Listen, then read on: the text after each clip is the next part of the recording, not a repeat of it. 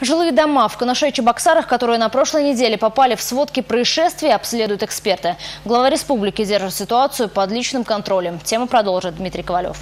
Эти фотографии опубликовали на официальном портале органов власти. На место ЧП в город Канаш по поручению главы региона приехали министр строительства и главный жилищный инспектор. Проверка показала, что трещина образовалась в колонии, которая удерживает деревянные балки. На утренней планерке Михаилу Игнатьеву представили подробный отчет. Образовались трещины порядка 4 сантиметров на первом этаже, в первой квартире данного здания. После данной аварии а, выставлены были маячки непосредственно на стене а, на стенах и на конструктивных элементах здания движение э, не было зафиксировано за прошедшие двое суток.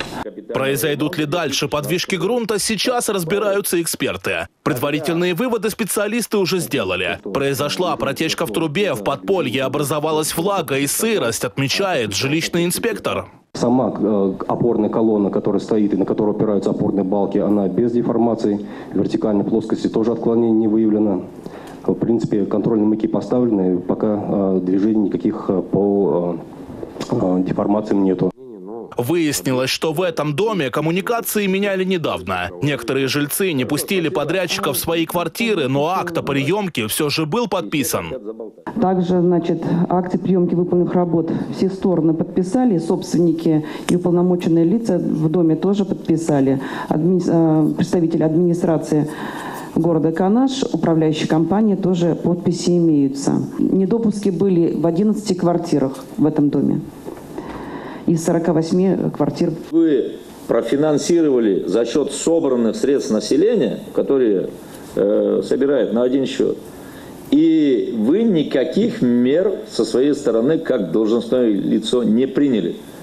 Это говорит или о покровительстве, или о вашем бездействии прошлом году капитальный ремонт планировали провести в столичной многоэтажке по улице Грасиса. Но работы так и не успели начать из-за непогоды. Ветхость дома дала о себе знать. На прошлой неделе обрушилась кирпичная кладка на одной из стен. В принципе, прочностные характеристики данной стены сохраняются, и угроза для жизни и для тех, кто проживает в данном доме, отсутствует.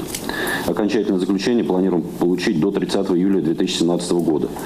В ближайшее время эксперты должны решить, смогут ли жильцы домов и в Чебоксарах, и в Канаше вернуться в свои квартиры. В любом случае, один на один со своей бедой людей оставлять нельзя, отметил глава региона. Я благодарен родственникам, которые приютили своих близких родственников, кто-то друзья там пошли навстречу. Это очень важно. Но это временное жилье на сегодняшний день. Наша задача быстрее, чтобы экспертизу провести, Владимир Юрьевич. Во-первых, под э, контролем жилищной инспекции других специалистов.